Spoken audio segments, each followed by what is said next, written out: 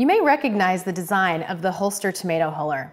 This amazing little tool is designed to quickly and cleanly core tomatoes.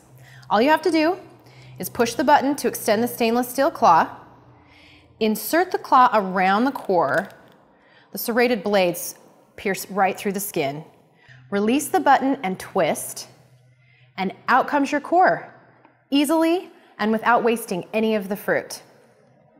Again, extend the stainless steel claw, the serrated blades go in around the core. Release the button, twist, and you've got core tomatoes. When you're done, toss the Hullster on the top rack of your dishwasher for easy cleaning.